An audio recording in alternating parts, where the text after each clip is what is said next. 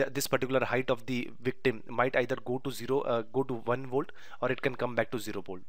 So you never know in this case but this case it's it's pretty okay. We can it can we can say that it can it can come back to the output uh, it can it can come back to ground basically in this case.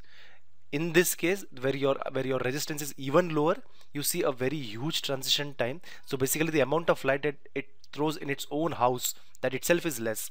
And as a result of that it the amount of light it, that it throws on the nearby house that is also less. So this is a safe glitch. This is this glitch is the one that will that will go through very well. So this is this was this were the three scenarios that we tried to explain about the aggressor drive strength. So what we'll do is in the next in the next video we'll be looking into one more factor which is the victim drive strength. So this the way we have looked into looked into the aggressor drive strength we have to look in the similar way to the victim drive strength and see what happens